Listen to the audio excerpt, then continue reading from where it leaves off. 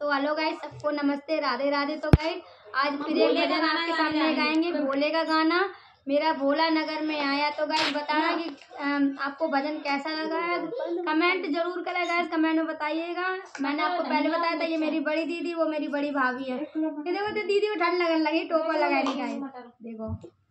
तो guys channel को ज़रूर सब्सक्राइब ज़रूर कर लेना। जब आपको भजन अच्छा लगे तो प्लीज़ तो गाइस ऐसे और कई भजन आपको देखने मिलेंगे डालेंगे हम। तो गाइस चलिए अब भजन शुरू करते हैं हम। हाँ, ऐसा हल्का मम्मी आ जाए तेरी। थोड़ा हाँ।